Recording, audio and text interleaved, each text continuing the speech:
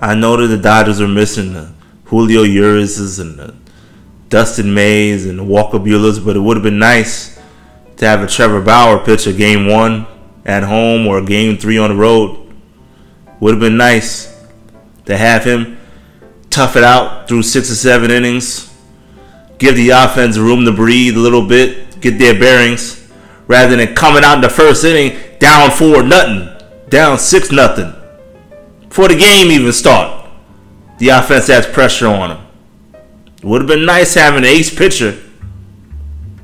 You know, we could talk about Mookie Betts not getting the hit. That's a disgrace.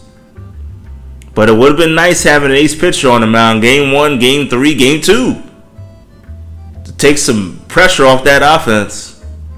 But the upper management didn't want to deal with a scandal involving an assault case in a he said she in a he said she said and there were certain players on the Dodgers that didn't want Trevor Bauer on the team. Not everybody, but there were certain players that didn't want him on the team. So, you know, the curse of Trevor Bauer continues. He should get a public apology from the Los Angeles Dodgers and the MLB Players Association as well, who didn't stick up for him in a big spot. He should get a public apology. And without that apology, should that curse continues. Where you can win 120 games. The Dodgers can win 120 games and not get out of that divisional series. And won't sniff a pennant.